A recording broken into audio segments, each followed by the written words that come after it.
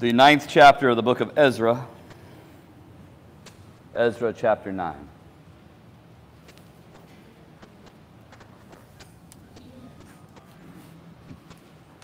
We'll begin reading with verse number 1.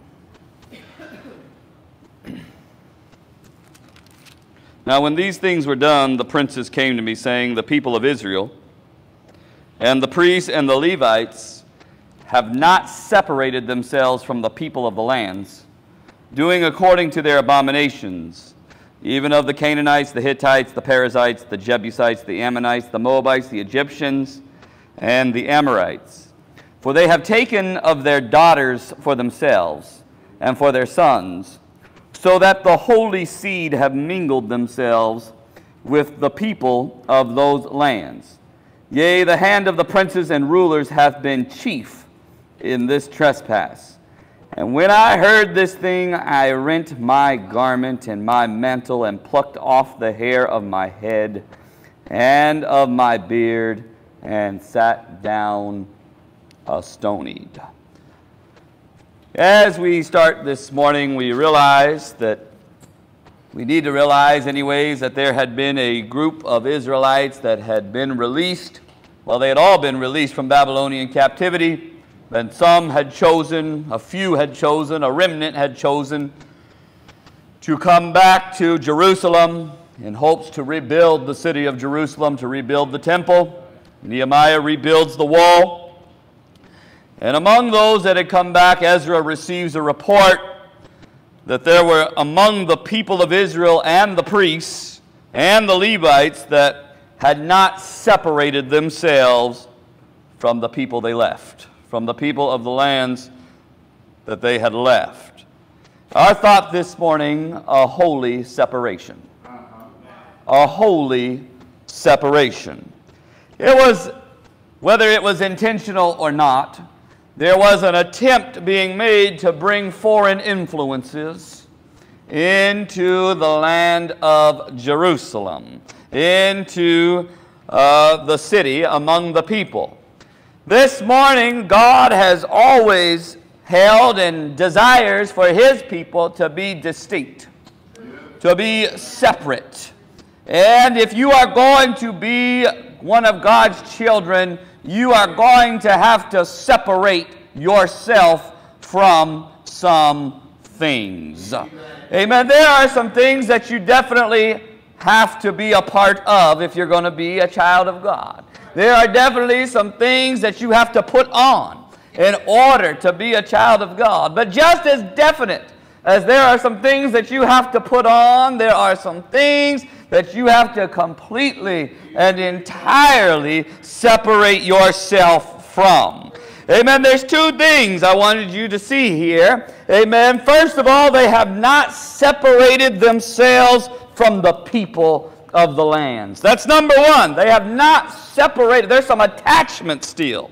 There's still an attachment to where they were, to where they came from. And brother, it doesn't matter if you've come out of sin amen, fresh out the world, or you've left false religion, amen, brother, you're going to have to lose the attachment, amen, the, to those things. There might be some things that were near and dear. We're talking about people's wives here. They had built families with these folks. These were things that were near and dear, close to them. And he said, Listen, the people have not separated themselves. Amen, brother. What I'm telling you this morning is that if you're going to live a holy life, it's going to get real close to home.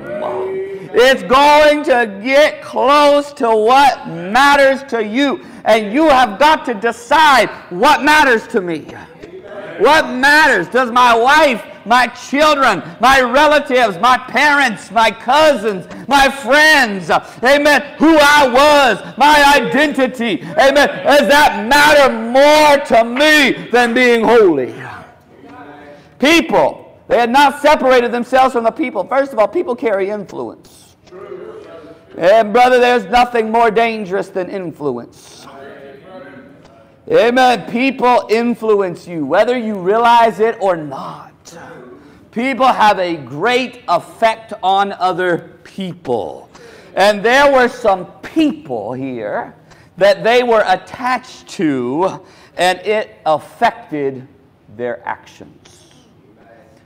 Rest assured tonight, whatever you're influenced by, whatever spirit you're influenced by, whatever person you're influenced by, it will affect your actions.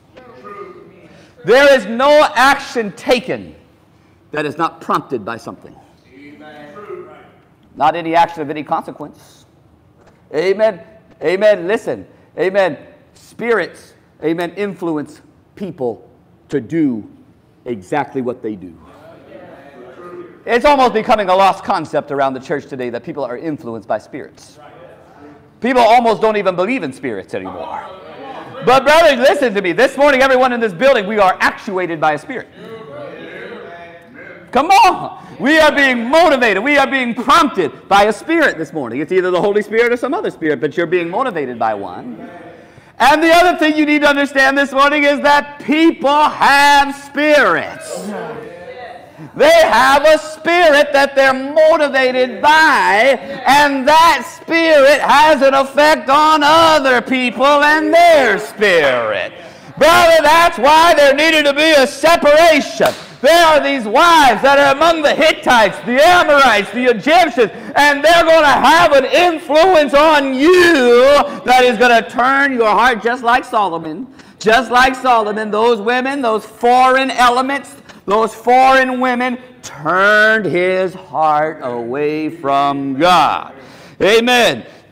The next thing he said was doing, they're doing according. So they weren't just because they have not separated themselves, they're under that influence, they're doing according to their abominations. Amen. If you're going to be saved this morning, and I believe you're here this morning, you're interested in your soul. You're tuning in this morning, it's hopefully because you're interested in your soul. You're not just one of the critics. Amen. But listen, amen. If you're going to be saved, there are people and actions from which you're going to have to separate yourself. Amen. I'm saying there's some things you can't do and be saved. There's some things you can't be attached to. There are some rules. Ah, I know people today, they don't like that kind of preaching. It's not about rules, Brother Nathan. It's not about rules. But Jesus said it was. Jesus said, If you love me, You'll keep my commandments. If I if I command my daughter to do something, it's not optional. Go clean your room. Amen. And sometimes you got to teach your children that it's not optional, right? Amen. You're going to do it. Amen. It's a command. There's some things that God commands. And if you're going to be saved, you're going to do it. There's some things God's going to say, don't touch. And if you're going to be saved, you're not going to touch it. Amen. What was Adam and Eve given way back in the garden? A command. A command. Don't eat of the fruit of this tree. Amen. They violated that command and there were consequences. And brother, anytime we violate the commandment of God, there are consequences. Amen. There are consequences. Amen. And brother, when you don't separate yourself, amen, from the things that God requires you to separate yourself from, there will be consequences. You are free this morning to choose to do whatever you want to do, but you are not free this morning from the consequences that those choices entail. Amen. You will not act like the world. And yes, I'm going to keep preaching against the world. So this, amen, brother, listen. If there's two things I was thinking about this morning, amen, I was meditating a little bit this morning. I thought about the way, the journey that God has brought me on over these last 10, 15 years. And one of the first things God moved on my soul, burdened my soul with, was the amount of worldliness in the church among the professed people of God, a people that are supposed to be separate and distinct, just how much the world has influence over us. That was the, probably the first thing that really began to stir me, that began to bother me. Amen. Caused me to make some real adjustments in my life. Uh, brother, I saw things that were bedrock. Uh, I saw things that people had convictions about, brother, that they would never, but little by little, more and more homes, more and more families, more and more people you looked up to as pillars. It was in, it was infiltrating their home. And then, brother, this one, amen, they were letting down over here. Then their children were going there. Their children were doing this. And brother, it gets to a point where you can't even hardly tell where the church is anymore. Amen, because it ain't got no power. There's no separation. There's no distinction. And it gets to the point where rank sin will come right into the midst, brother, and nobody will blush anymore. Brother, when you let a little leaven in, it will leaven the whole lump. Amen. One brother said, and I'll say it again, a little devil will devil the whole dump, brother. Amen. And that's just what's happening in many places today, brother. They let a little bit in. And brother, when you let it in, you'll never get it out. You'll never get it out. Amen, brother. They'll let the jewelry in, they'll let the TV in, brother. They'll let all these things in. And, brother, I'll tell you what goes. The power of God goes, and it never comes back. Hey, Brother Nathan, why don't you loosen up on this? And where's this? And where's that? Brother, let me tell you something. When people compromise, amen, the word principles of the Word of God, I've seen it every, I mean every, every single time they lose the power of God. They don't get more anointing. They don't get more healings. They don't get more power. Brother, little by little, until there are congregations that have gone into oblivion tonight. And this morning, they don't even exist this morning. Because God requires a holy separation. God requires a holy separation. Amen. Brother, you will not act like the world and be God's child. No, you won't. You're going to separate yourself from it. And if we're going to be church of God in 2024, we're going to have to separate ourselves from some things, from some things. Amen. We can't talk like the world. We don't dress like the world. We don't respond like the world. Amen. We don't have the same attitude that the world has. Come on. Amen. We conduct ourselves in an entirely different manner. You will have a separation from the world if you're going to be saved. And then, listen, God is going to see what you want. God's going to bring every one of us to a place you're going to decide you're going to decide if you want to just play games and be religious or if you want to be sold out. And sadly, many have chosen to play games. Amen. You know why? Because everybody else is kind of worldly. Everybody else is kind of lukewarm. So as long as I'm not as bad as them, I feel pretty good about where I'm. Brother, listen, the standard's holiness this morning. And whether everyone in this building is living holy or not this morning, the standard does not change. See, listen, everybody in this congregation can decide, well, it's okay to go there. It's okay to wear that. It's okay to have that in, in our home or whatever. You, you can all decide that this morning. And it will not change the standard one, one iota. You'll just be lost. You'll just be lost, but it's not changing the standard. Listen, the standard is not up to what you believe. Come on. It's not arbitrary this morning. Some people think things are up to their interpretation. It's not. It's not your interpretation this morning. See, I've heard, I've even sat in someone's home one time. And they basically told me, well, listen, God isn't going to send anybody to hell if they didn't have understanding on something. And better, you better watch this kind of thing because that sounds good. Uh-huh. All right, on the surface. And listen, we know that no one is ignorantly going to end up in hell. But see, the purpose of this conversation was, amen, I can do this and I can do that and I can claim I just don't have the understanding. Uh, God hasn't shown me. Amen. And so I'm okay. That's not so this morning. The Bible actually speaks of those that are willingly ignorant. And brother, there's a lot of willful ignorance around the church of God today. Brother, listen, when you stand face to face before God's judgment, start try to say, Well, I didn't understand. He's going to say, You could have. I gave you every opportunity to understand. I tried to show it to you, but you closed your eyes to it, and you're responsible for that this morning. Oh, you're responsible for that this morning. You're responsible for what you could know. Amen. Anyways, I'm listening. Don't, don't get all fearful this morning. Well, God's going to send me to hell over something I don't know. Uh-uh. You better just keep an honest heart before God. God don't send, amen, an honest heart to hell. If you're honest with God, God will pull out all the stops to make sure you have everything you need. He's not going to surprise you with something, brother. But listen, don't bury your head to truth because you love the world. Because you love the world, because you love the things of the world. See, there's a difference. You're motivated by something this morning. And many people, their ignorance is motivated by a love for the things of the world. The spirit and ways of the world should be foreign to the people of God. It should be foreign. I know we're not a cult, Lord willing, but there is a culture among God's people. Oh, yes, there is. There's a holy culture. There, is a ho- there are some things that don't belong to the culture of the church of God. It just, just it, it, it doesn't become holiness. It's not edifying. Amen. It's not, it's not, listen, we have to maintain a holy culture. Listen, if our children don't want to be saved, then let them not be saved. But don't try to lower.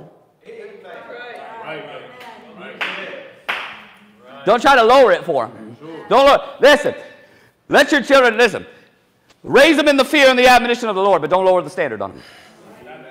This is what holiness is. Amen. And you're going to come to it or you don't have it. Or you don't have it. Amen. Listen, we got too many young people today, they don't know where they, don't know where they stand.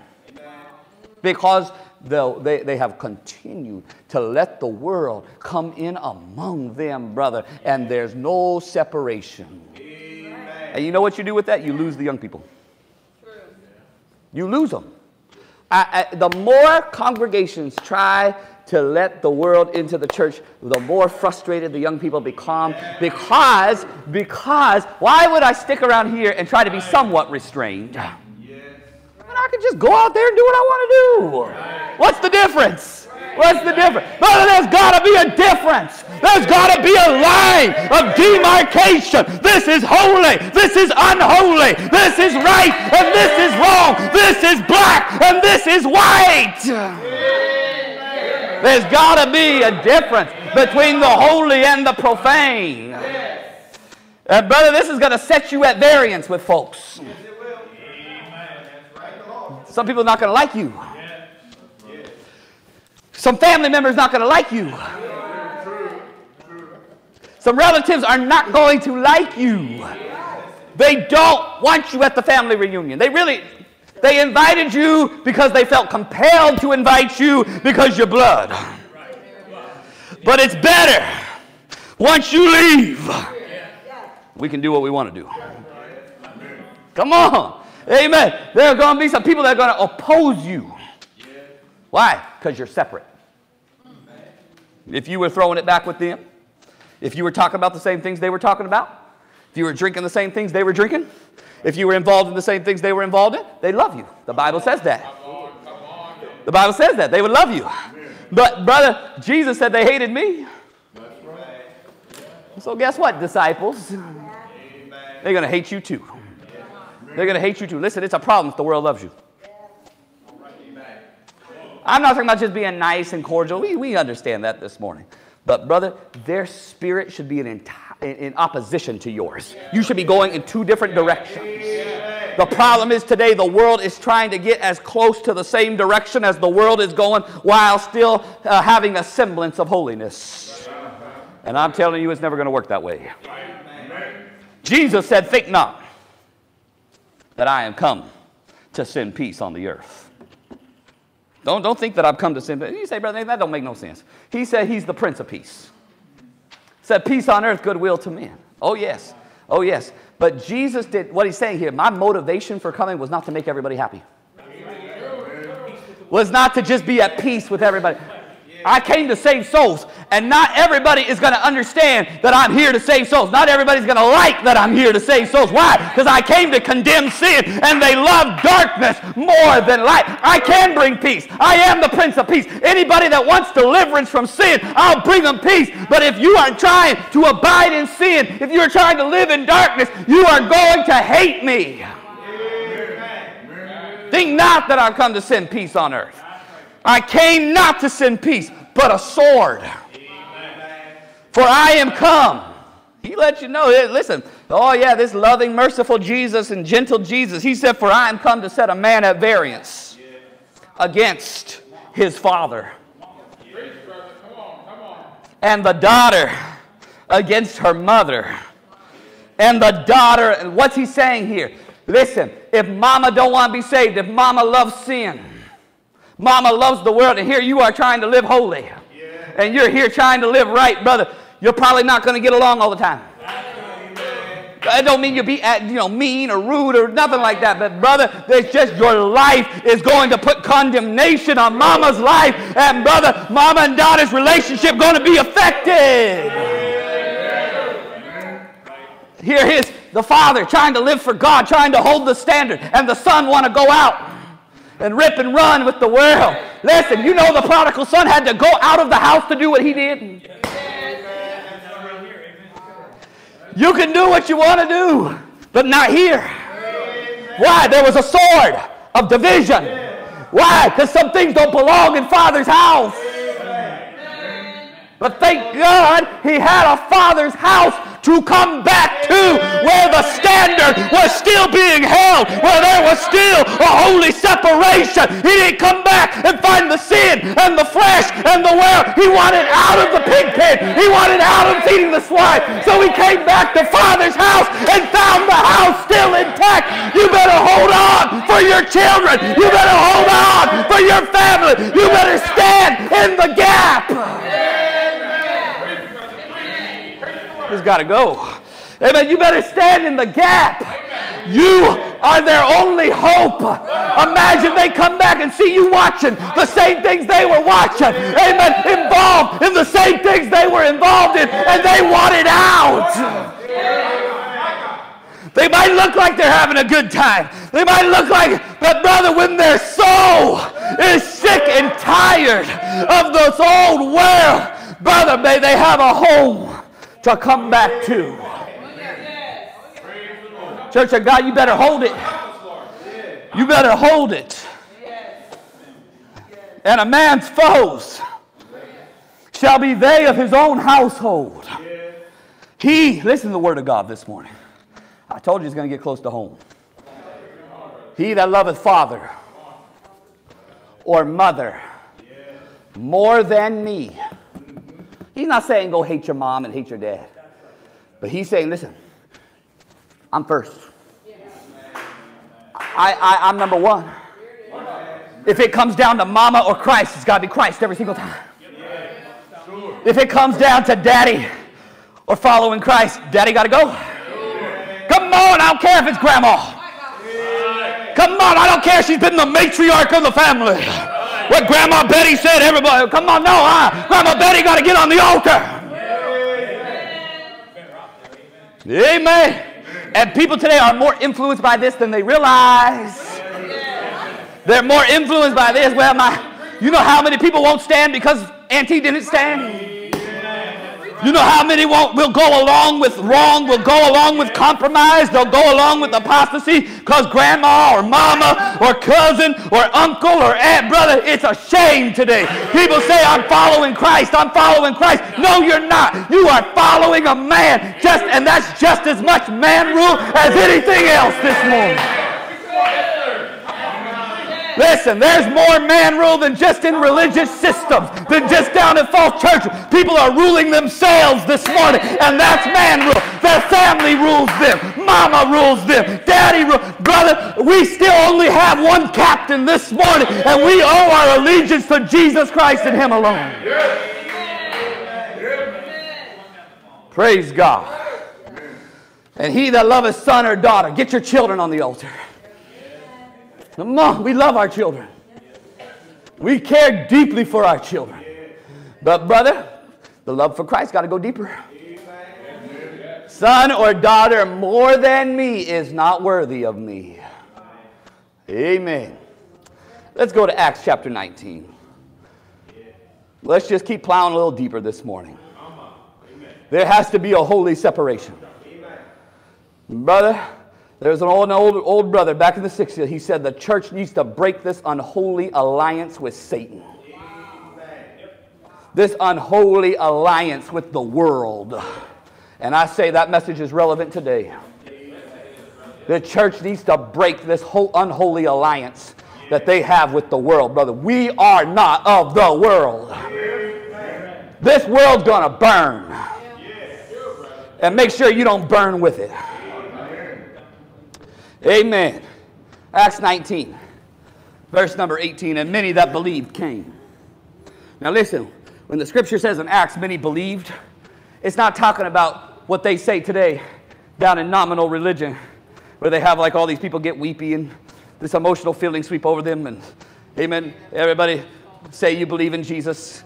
If you raise your hand, then you're now a believer. It, not, it didn't work that way in the book of Acts, brother. When, when you said you believed in Jesus, you mean the one a few years ago that we saw up on the cross, crucified? You believe in him? Yes, I believe he rose from the dead. You were marked. You didn't just go around say that lightly. Brother, that, was that affected your entire life. That changed your livelihood. That changed how you were viewed in, the society, in society. That changed how you were viewed in social circles. Brother, when you said you believed in Jesus Christ, your living was, all, uh, was entirely affected. Amen. Amen. Today, many people say they believe in Jesus, but nothing changes in their living. Yes. Nothing changes in their living. Rather, when you really believe in Jesus Christ, it'll change how you live. It'll change who you are. And many that believed came and confessed and showed their deeds. They came clean. These are some people that got saved. They came correct. Amen. They weren't holding anything back. This is what I did. I'm, I'm not saved. Oh, so more religious people today would just come to the conclusion they're not saved. Why? They're still sinning. If you're still sinning this morning, you're not saved. Amen. I didn't say you never sin, but if you're still sinning this morning, you're not saved. Amen. For all have sinned and come short of the glory of God. Amen. But thanks be to God this morning. Amen. He delivers from sin and He keeps from sin. Amen. And if you're in sin this morning, you're not saved. Amen. That's basic Bible 101 today. Many people missed the mark already right there. Acts 19, verse 19. Many of them also, which used curious arts uh, brought their books together and burned them. Brothers, we brother, listen. There's some Church of God places they need a bonfire, brother. They, brother, brother, we just need to forget cat, forget, just cancel your annual camp meeting. Forget that re- third revival this year. Amen. Go down somewhere, find you a nice big fire pit, get some gasoline and some matches. Amen. And let's have a real revival. Amen. Brother, some people need to bring their movies.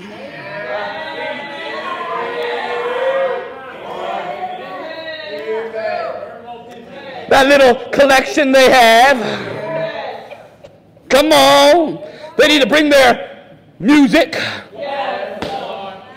Come on. Oh, I'm still preaching, Church of God. I'm talking about curious art. You know, this used to not be controversial in Church of God pulpits? Why is it so hard? Why is it so hard at Church of God camp meetings preach against the world today? Why, why, why are some things in, if the evangelist comes to town, that's pastoral. That's pastoral, evangelist. Don't touch that. Don't touch that. Brother, that ain't Zion.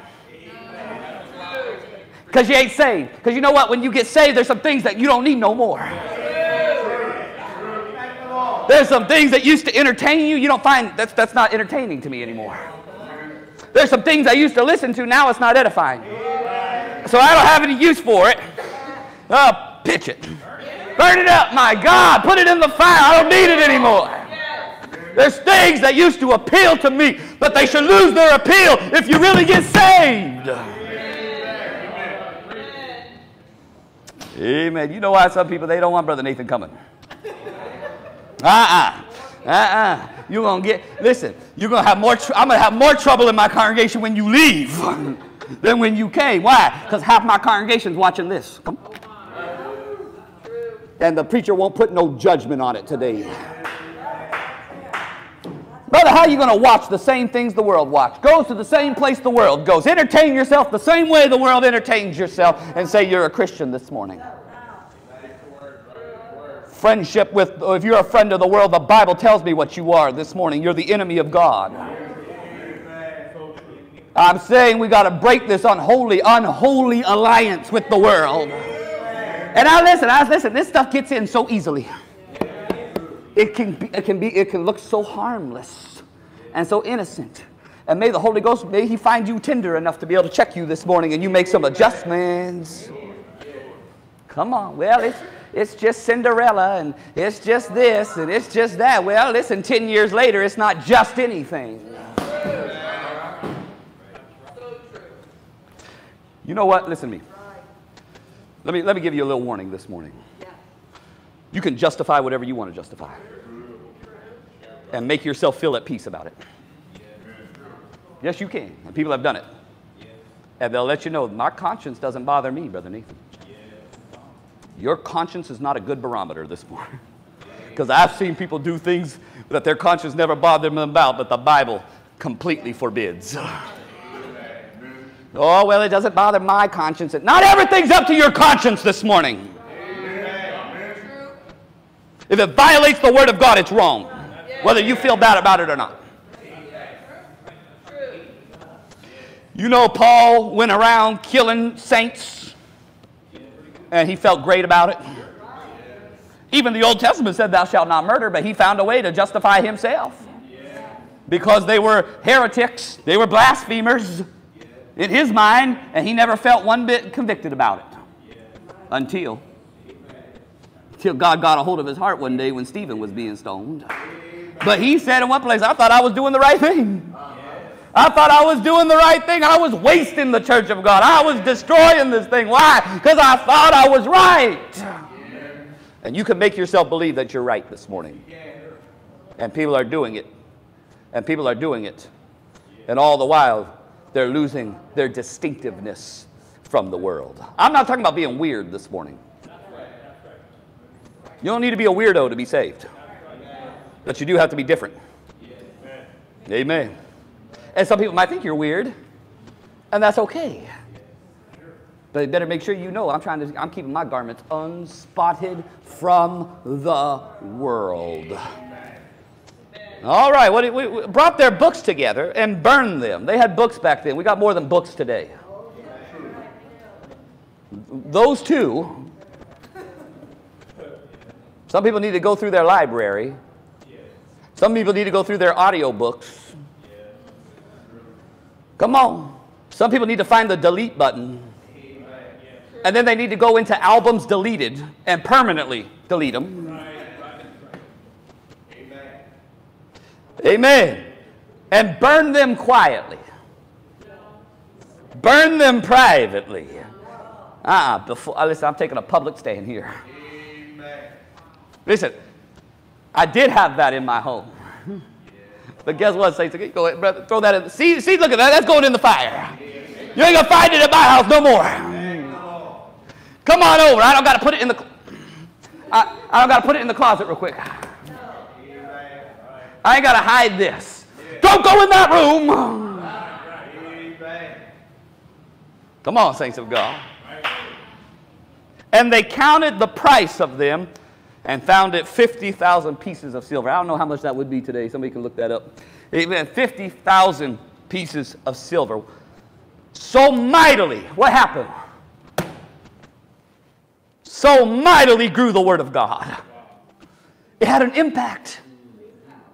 So mightily, oh, I want to see souls saved and I want to see revival. Then get out from the world. Separate yourself from the world so mightily grew the word of God and prevailed. It had an impact. It had an impact. Amen. The world has use for things that God's people have no use for. I'm not saying everything. I know you got to go to. I know you got to go to the store and buy some food, and I know you got to put gas in your car. So does the center. I know that this morning. So you need oil and you need gas and you need groceries just like every other man. But brother, there's some things the world has use for that the saint of God has no use for. Amen. Amen. I remember I was talking to a. I heard a preacher preach one time. He was dealing with the worldliness in the church and the entertainment and the movies and this, that, and the other. He said he was at, that's back when they used to have a, they might still have it now, but you, at the store they'd have a whole selection of movies that you could rent. It wasn't Blockbuster, but you go down to Kroger or whatever, Albertsons, whatever, they have it there. He said, you know, he thought, he went over there one day.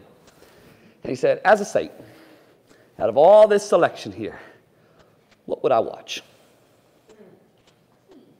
As a saint, as a representative of Jesus Christ, what would I watch here? He said, I couldn't find one thing that as a saint of God I would watch. See, it's not even so much the content either. It's a, it's a lot the content. I'm not taking away from that this morning. But it is a time waster. It does not bring one closer to God. There are things that draw away from God. Listen, I've preached it before. There's some things that are edifying. They're absolutely edifying. Reading your Bible, praying, witnessing, amen, fellowshipping with the brethren. Those are edifying things. Listening to a message, reading a spiritual book, those are edifying. There are some things that are just unedifying. All right? They, they, they, they take away, they drain spirituality. And then there's some things that are neither. They're not, it's not edifying to put a ball in a hoop. It's, it's not really unedifying to put a ball in a hoop. All right? It's not unedifying to go hunting. Not necessarily edifying. Could be, you know, you go out there and meditate for a while because you ain't got nothing coming. You, anyways, but uh, it could be edifying. But it's it's really for the most part, it's, it falls in that neither. It can become unedifying. Come on. It can become unedifying if I'm overcharged, giving myself over, not temperate, not moderate. Amen. Saints of God, you got to learn how to you got to learn how to negotiate these things. See, so many people today, and they actually do want this. They want the preacher to codify some things. They want him to say, "Do this, do this, do this, don't do this." Don't. That's not going to happen here. You are going to have to navigate through some of this world with the principles of the Word of God. That word, let's talk about that word curious arts real quick. There's a number of definitions for it. It's not just artwork. All right, it's not even talking just about magic. Some people have said, well, let's just talk about sorcery. Nah, well, listen, Disney's about that anyways, but listen, uh, it's not just about that. It's busy about trifles and neglectful of important matters. Involving yourself in this entertainment cause it's, it's, it's, it's, it's of no value, it's trifling, and it causes you to neglect important things. Especially busy about other folks' affairs. Do people know everything LeBron's doing? They know what this actor's doing, what Tom Cruise and all, Brad Pitt and all these. I'm dating myself a little bit here, but listen, because uh, I, I yeah, Beyonce and they know all about this stuff. Drake and Amen. They got rapper names that I couldn't even remember. Just pick a letter of the alphabet and put Lil in front of it, and you.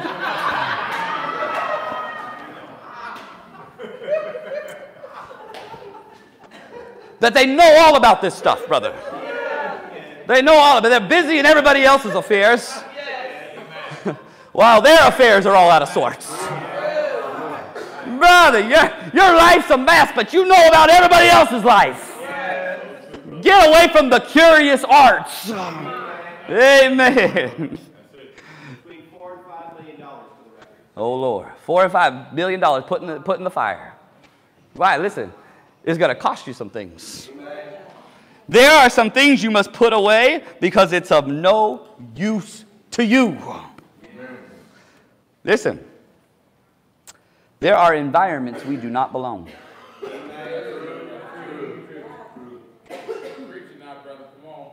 I said that, and I'm going to say that again.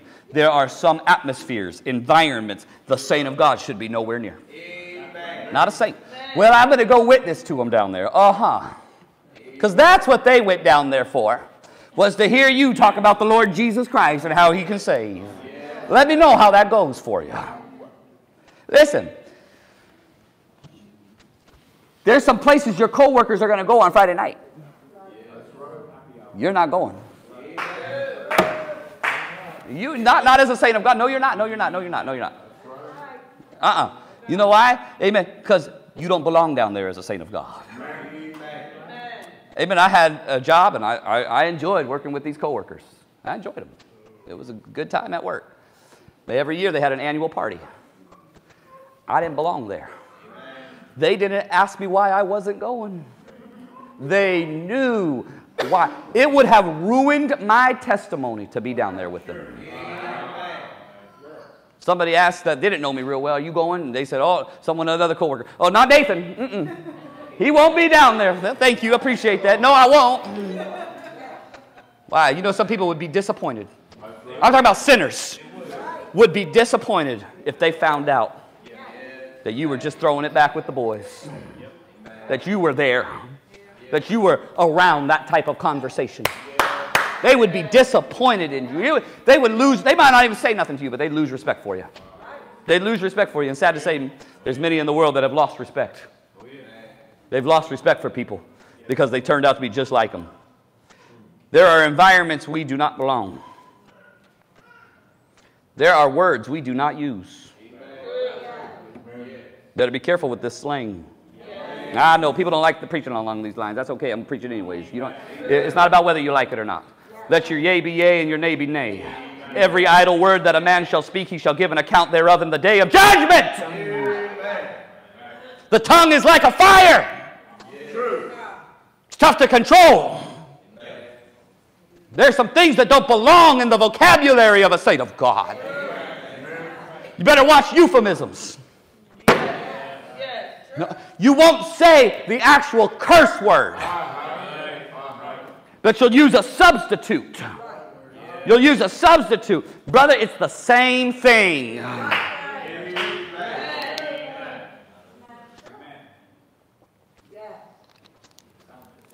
Brother, people talking to you can't tell if you are someone just off the streets and just talking someone off a TV. Brother, listen, a saint of God, their vocabulary should reflect a Christian vocabulary. Amen, anyways. There's some apparel we do not wear. Well, they make women's pants. Yeah, do they make men's dresses? What you gonna do then? Put a little, put a dress on your little boy then. When the when the world when the world comes out with men's dresses, boys' dresses, you're gonna put your little boy in a dress? Is that what you're gonna do? Ah. Come on. They make this. They, the world does not dictate to the church. We don't take it off society. And people want to get all philosophical about, well, they had robes. Was there a men's robe and was there a woman's robe? I don't know, but I know this. There are some garments that pertain to a man, and there are some garments that pertain to a woman. And in the society and time we're living in, when we got gender confusion, homosexuality on the loose, brother, we should not be trying to figure out if it's a male or a female.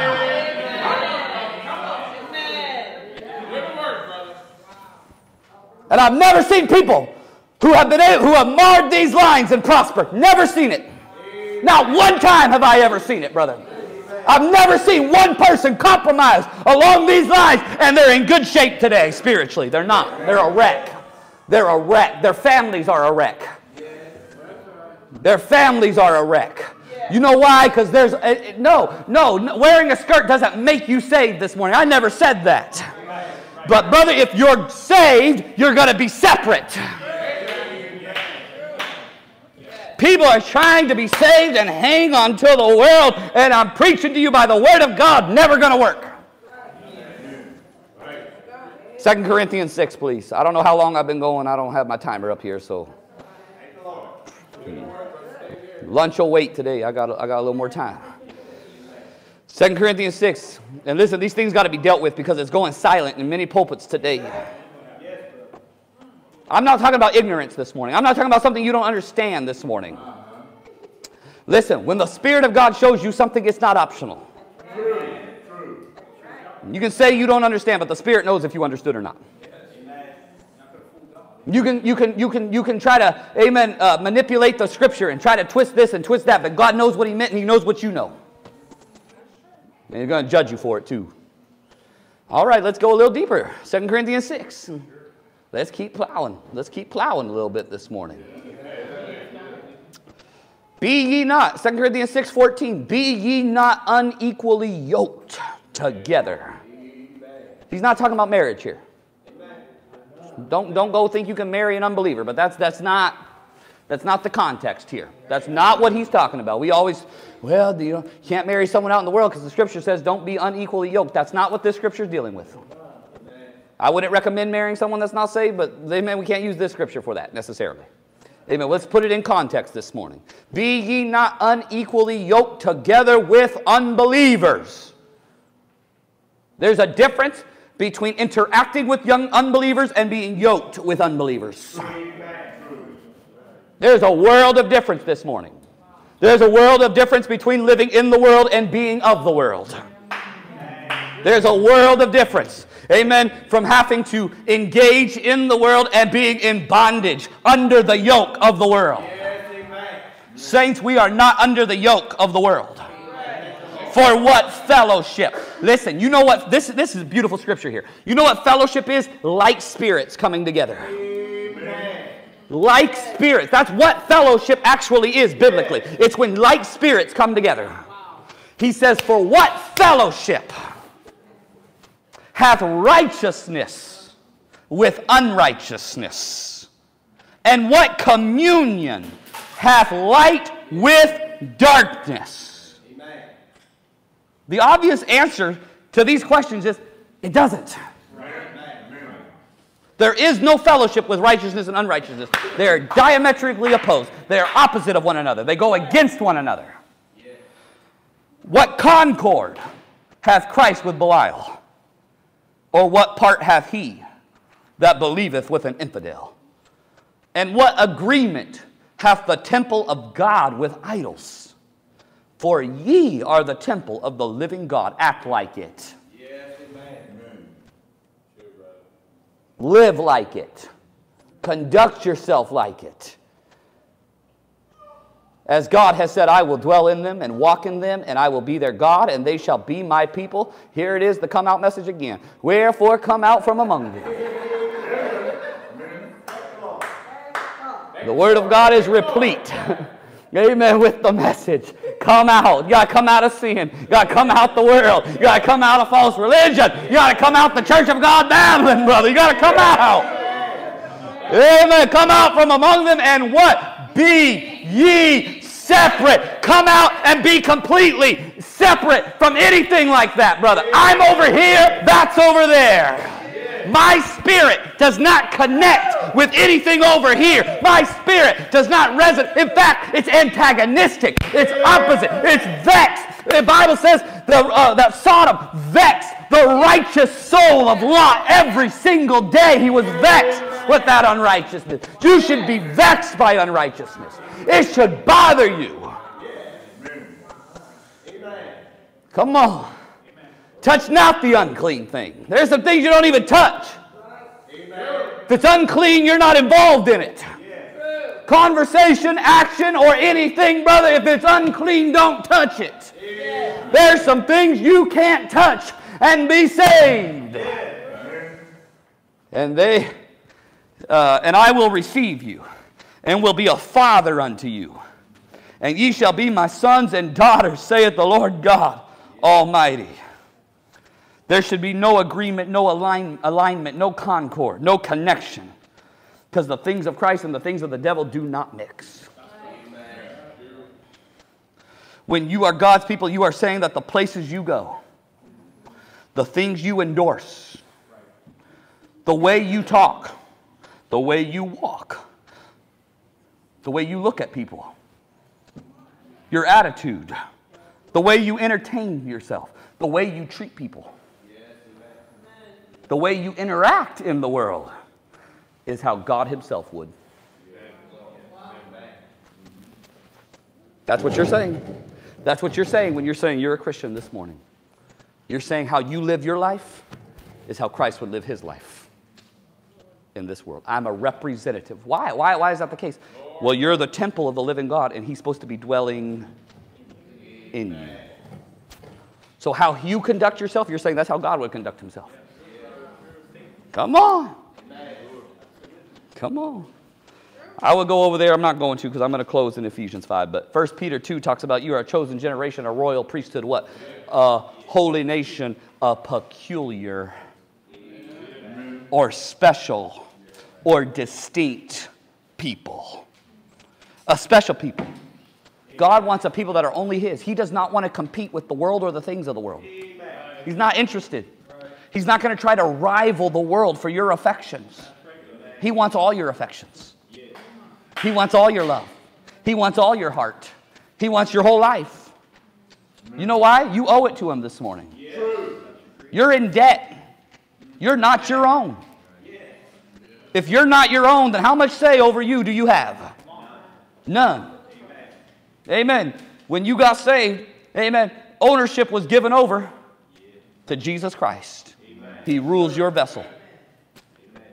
You know why? Because you made a wreck of it. We all did. Look, one thing we know for sure is that a man cannot direct his own steps. It is not even within him to chart his own course, brother. It's just a mess. It's a mess. So what'd you do? Say, look, I don't want to do this no more. I don't know what to do. I don't know how to conduct my life. I don't know what I don't know how to do this.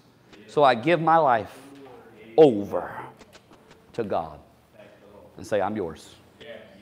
Wherever you want me to go, I'll go. And where you don't want me to go, guess what? You won't find me there. Amen. Why? You say, why won't you go there? Owner. You got to talk to the owner. You got to talk to the owner of my soul because he, he forbids it. You, you do what you want to do, but I, listen, I got, I, listen, I gotta, I gotta take orders. Amen. I'm not my own. I'm not in control. It's, it's really, honestly, it's not even my decision. In a sense, this is God's decision. He doesn't want me to be involved in that. He doesn't want me to be a part of that. Amen. Ephesians 5, let's close. I want to read a few verses here and I'll let you go. Verse 1 Be ye therefore followers of God as dear. That, that's the mindset you need to have. I'm just a child.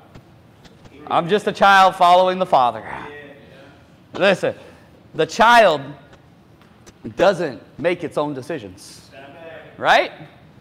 Your child doesn't just do whatever they want to do, they obey, they follow the parents. If God's our Father and we're His children, we got to do whatever He says. And His commandments are not grievous, they're in our best interest. Sometimes we're going to get a little spanking. Yes, and you were out of line. Uh uh-uh. uh. you are going to get chastised. The Bible says you're going to get chastised sometimes. The Bible says we had fathers who chastised us, got the rod of correction out, and, and, and helped us with the Board of Education. And sometimes the Holy Ghost, He's going to get the paddle out and say, uh uh that was out of line. You know why? It's for your good. You needed that. You needed it. You needed that correction. And if you'll humble yourself, you'll grow by it. Amen. It's a blessing when the Father says you're doing a good job. Oh man, what it does, what it does for the soul. Amen. It encourages, uplifts to get a witness from God that you're my child. Hey man, listen, the devil bullying you, beating you up, and here comes daddy. Hey, get off of him.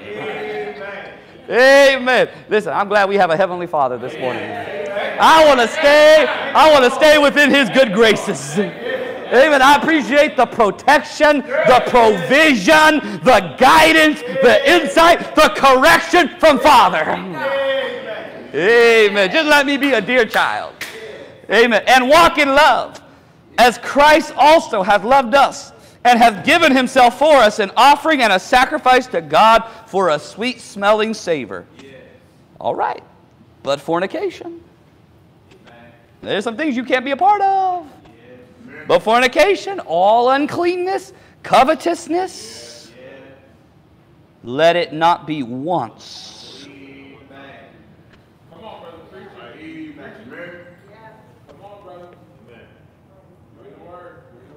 There should be some things that are so far from us, Church of God. It should not be named among us one time. You know some of this stuff that we just read fornication, uncleanness, covetous it's so common today. And it shouldn't even be named among us. Listen,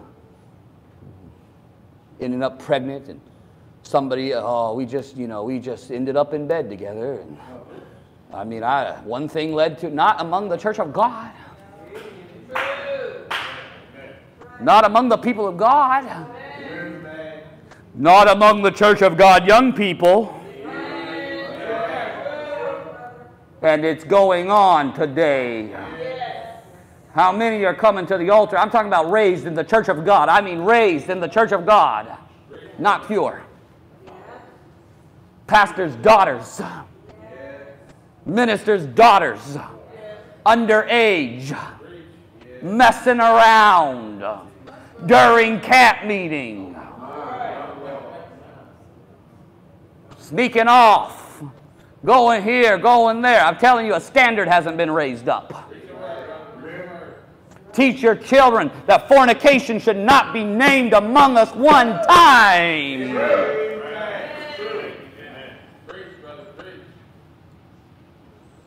We're not, we're not teaching uh, just uh, birth control. We're not teaching be, be safe. Be careful.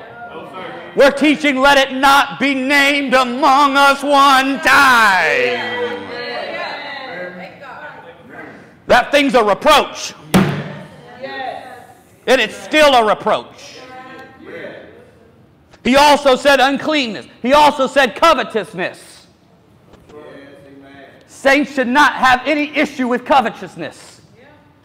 Should not be that we're clamoring, that we're wanting what the other person has, that we're man- jealousy and envy working among us. Brother, should it be named among us as saints of God? Not one time. Striving, jealousy, envy, going after. Brother, should it be named among us one time? Neither filthiness. He didn't stop there. There's some other things that should not, he because neither is adding on to the previous thought. So fornication, uncleanness, and covetousness should not be named among us one time. Neither filthiness. Nor foolish talking. Oh, Lord. And I'm seeing this creep into the church too today. And I'm going to nail this down. I'm going to tell you exactly what this verse is talking about. Nor jesting, which are not convenient. It's not conducive, but rather giving thanks. Filthiness, that foolish talking, jesting, foolish talking, ridiculing someone. Study the commentaries. What he's talking about, the definition is when you're ridiculing someone, making them an object, object of contempt.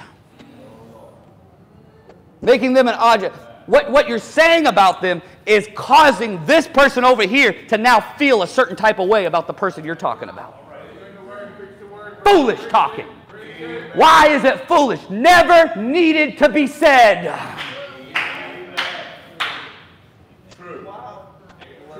It didn't need to be talked about. It didn't need to be discussed. Listen, there's some things that we can discuss, some things that transpire, whatever. But brother, you better be careful what your motive is. Because you're trying to, maybe you're trying to shape. I tell Brother Neil something about Brother Eric because I want Brother Neil to now, I need him to feel a certain type of way about him. And so I say something that he didn't even need to know about Brother Eric. Just because you know something does not mean it needs to be said. Some people need to learn to shut their mouth. Brother, listen. You better be careful with this kind of thing because you're going to stand in the judgment for it. You, you said this about this person. Why did you say it? Why did you say it? Why? Why? Why? Did it need to be said? Did it even need to be addressed? Study to be quiet. To work with your own hands. Listen, you got enough on your plate. You've got children that need to be saved. Amen. You've got a house to take care of. You've got children to rear up. Brother, there's some things you need to just be quiet about and focus, amen, on the things that you do know about, amen, that are needful. Because what you're going to do is teach your children to look at this saint that way, and because they heard you foolishly talking. There's some things that never need to be discussed in front of your children, especially when it's about the saints. Don't discuss it in front of your children.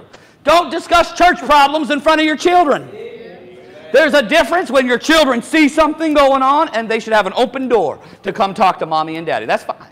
But they don't need to know about sister so and so and brother so and so and I didn't like the message this morning and I disagreed with a, this point and that point and that point. Amen. Foolish talking. Preach the word, brother. Preach the word, brother Nathan. Preach the word.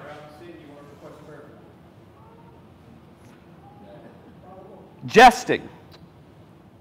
Jesting Words that are turned into other meanings. And the world's full of this today. You say something innocently today. And everybody start giggling. And you know, I mean, they act like you're slow. You know exactly what they're giggling about. You're just like, bro, are we, are we this immature? We're this immature. But you know what the sad thing is? It's creeping in right around the church. It's creeping in right around the church innuendos, innuendos, sexual innuendos. It doesn't belong to the saints of God. Get it off your lips.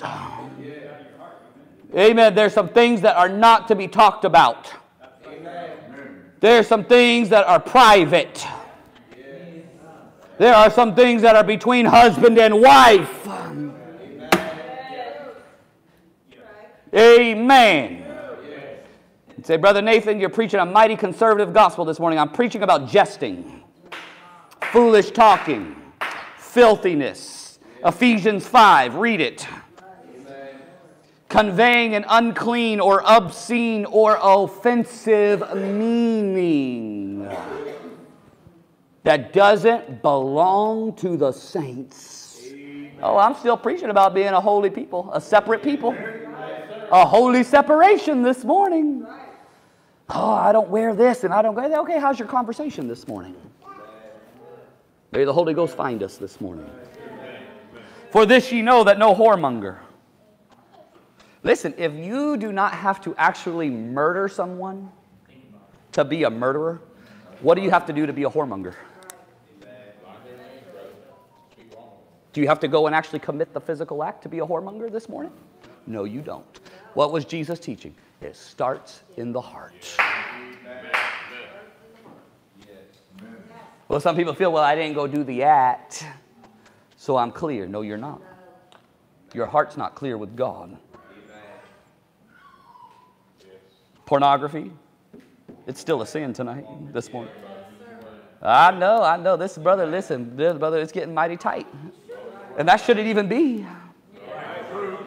That's basic, right? That's basic. That's basic. But you'd be surprised.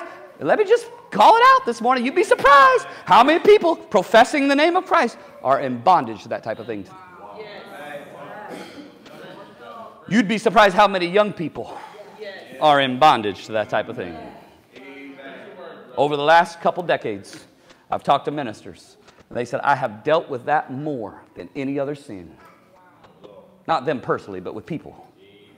And, and, and it's taken out some ministers too. But, brother, it's been that sin. It's the great one. It's the great one. Why? It's on the lips, it's on the vocabulary, it's on the mind, it's in the heart, it's everywhere today. And some people can't break free from it. Nor unclean person, nor covetous man who is an idolater hath any inheritance in the kingdom of Christ and of God. Let no man deceive you with vain words. For because of these things, don't be deceived, because of these things cometh the wrath of God upon the children of disobedience. So what do he say? Be not ye therefore partakers with them. Them. Them. That implies they're over there, you're over here. There's a separation. You don't partake with them. There is a them. And you're not with them. Amen. There's some discrimination. Oh, yes, there is. Listen, listen, the church of God is not like, uh, you know, all diverse and, you know, we just, you know, all this tolerance. And no, there's some things that we discriminate against. We discriminate against the world. We're exclusive. Yes, anybody can come. Whosoever will. Whosoever will. But they got to be saved. They got to get saved. They can't come and stay as they are. Ah, this is not a come and stay as you are gospel. This is a come and be repent, change. Amen. You know, I've preached it before. The place where there is absolute diversity, that everybody's welcomed, is hell. I preached the message one time. The diversity of hell. The diversity of hell. That's where it'll take. It don't matter if you're gay, you're transgender. Doesn't matter if you're a thief, a liar, a stealer, whatever murderer. It'll take you all. Come as you are. And brother, sad to say, many people are in a, a hell on earth because they want to open themselves up to all these things that are not of God. Let's try to finish this out. I'm, I'm about through. For ye were sometimes darkness, but now ye are ye light in the Lord. Walk, walk, conduct yourself as children of light. For the fruit of the Spirit is in all goodness and righteousness. This is how I know if you have the Spirit or not goodness, righteousness, and truth proving. There's some things you got to prove because there's some things that may not be as clear if it's, if it's right or wrong right away. Prove it. Prove what is acceptable unto the Lord. Have no fellowship, none, with the unfruitful works of darkness, but rather, because you're walking in light, reprove them. For it is a shame even to speak of those things which are done of them in secret. Well, it was just the boys. Well, it was just us girls. Well, it was just our family. You know, there's some topics that are off limits. You don't talk about. There's some things that no, there's no value. There is no edification whatsoever in talking about that. There's some things that you don't even need to know about. We don't even look into it. We don't. You don't know what that is? No. And I'm not interested. Because I can already tell this something is wicked. It, it, uh, listen, I, I, don't need to, I don't even go and figure out what are they talking about. Tell me more. No, listen, there's some things it's a shame to even talk about. It's a shame to even talk about it. But all things that are reproved are made manifest by the light. For whose or for whatsoever doth make manifest is light. Wherefore he saith, Awake thou that sleepest, and arise from the dead, and Christ shall give thee light. One of my favorite verses. See then that ye walk circumspectly, not as fools, but as wise. What does walking circumspectly mean? Carefully. Cautiously. We don't just rip and run and get involved in this and try that and watch this and go here. No, listen, there's some things I need to prove first.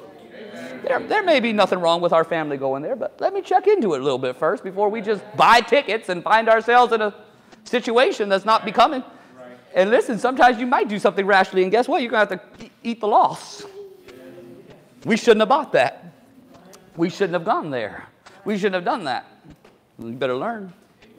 Because you got to walk circumspectly, walk carefully, cautiously. Some people feel like if it's questionable, they can do it. If it's questionable, then, then you can't say it's wrong. So let me just do it. I feel the saints should have the opposite attitude. If it's questionable, let me hold off. Let me hold off. You know what? I can't say it's right or it's wrong. I can't really make a judgment call, but I'd rather err on the side of circumspect. I'd rather err on the side of caution and you know miss out on something that maybe I could have enjoyed. I'd rather just miss out because it's not of that great of value to me. What I value more is walking in the light of God. Amen. And there in Ezra, the next chapter, it said to them,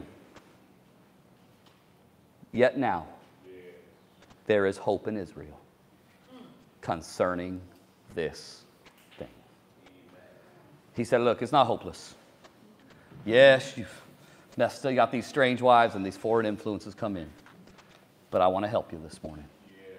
There's some hope in Israel. Now, look, there's some things they had to do, and it was hard. They had to separate themselves from those wives, and they had to separate themselves from those children. You say, Brother Nathan, that seems so incredibly harsh. That seems almost unjust. It seems unfair. Well, first of all, if you study it, they were taken care of. They just couldn't be married to them anymore. Those children and those wives, they were taken care of by society, but they couldn't be married to them anymore. They had to be a. What that should show us this morning is what, the, what this should indicate to us is how much God cares about having a separate people. How much He cares about having a holy and distinct people. And it will cost you some hard things. There's some things you're going to have to put away. There's some things you're going to have to separate yourself from if you're going to be God's people. Have some things come into your life that shouldn't be there this morning. Are there some things in your home that shouldn't be there this morning? Are there some people that shouldn't be holding the influence over your life? Well, they're my relative. Well, maybe there needs to be some separation. I'm not talking about forever, but maybe there needs to be a pulling back. There needs to be some adjustments that are made. Are you having more influence over them or are they having more influence over you? These are the decisions that God wants to help us make this morning to help us draw us closer to Himself. Shall we stand? Anybody like to pray this morning? The altar is open. Piano player may come. What are we singing? Page 81. The altar's here this morning. Will you come? You need to pray. Get some things right. Get some things adjusted. God will help you this morning.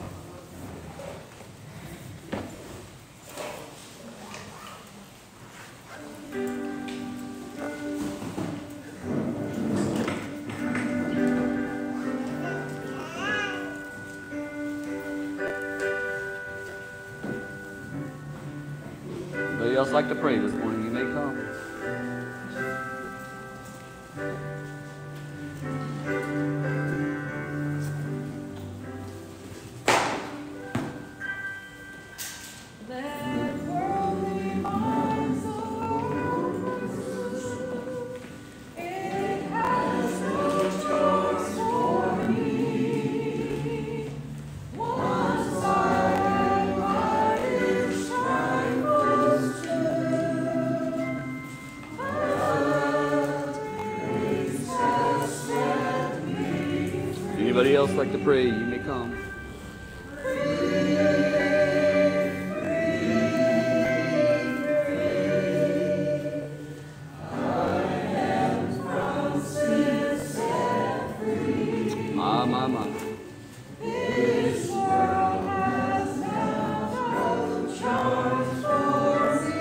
Can you say that this morning?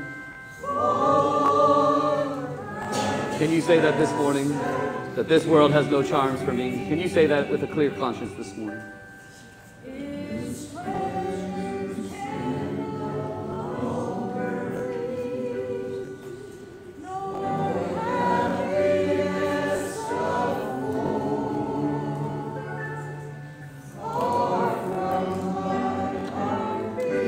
You need to pray, come on.